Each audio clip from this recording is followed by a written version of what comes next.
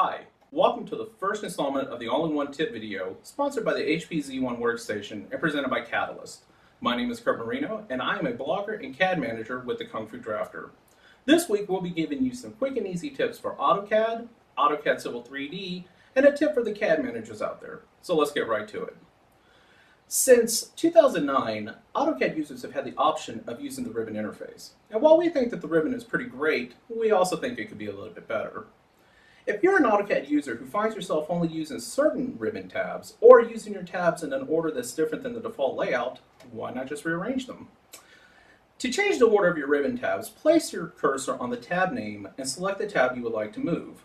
Holding the left mouse button down, drag the tab to its new location. When you release the left mouse button, you will find that the tab has, in fact, moved to the new location on the ribbon, making it an even better fit for your personal workflow. Tabs will stay parked in their new position going forward and every time you start up AutoCAD. Our next tip is for AutoCAD Civil 3D users.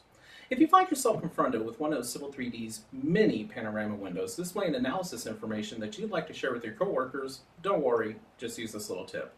Place your mouse into the panorama now select the information that you'd like to share or hit Control A to select all of it. Right click the highlighted area and select Copy to Clipboard. Now that you've grabbed your data, you can use the Windows function to paste it into just about any document format you would like. We think that a spreadsheet application like Excel or Google Docs is an excellent choice. Just open the application and hit Control V to paste the Civil 3D data. Now you can share your information however you like. Before we get to our last tip, we'd like to take a moment to thank our sponsor.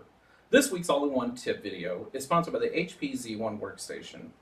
The world's first all-in-one workstation, the HP Z1's revolutionary design incorporates all system components within a 27-inch display that opens to let you swap parts and make upgrades without the need for tools. Visit hp.com backslash Z1 for more information on the all-new Z1.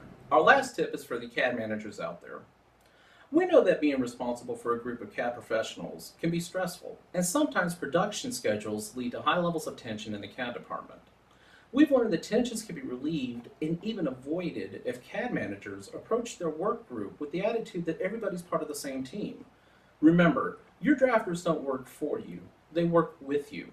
It sounds simple, but this small change in attitude can affect how you interact with your users and can lead to big improvements in morale and productivity it might just get you invited to a few more lunches. Thanks for watching this week's Cadalyst All-in-One Tip video. And thanks again to our sponsor, the HP Z1 Workstation. Join us again next week for more all-in-one CAD tips.